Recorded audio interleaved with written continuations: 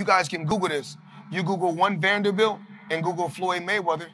Um, that's I'm a part of that project. That's the tallest building in New York City. So you so kid come up, all this trauma, American dream shit too. All this trauma, Michigan to Jersey, going through it, family going through it.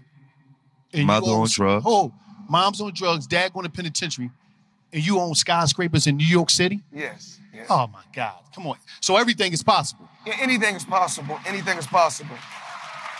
You know, um,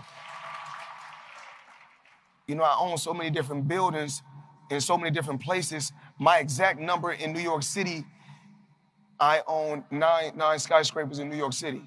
Nine skyscrapers? Yes.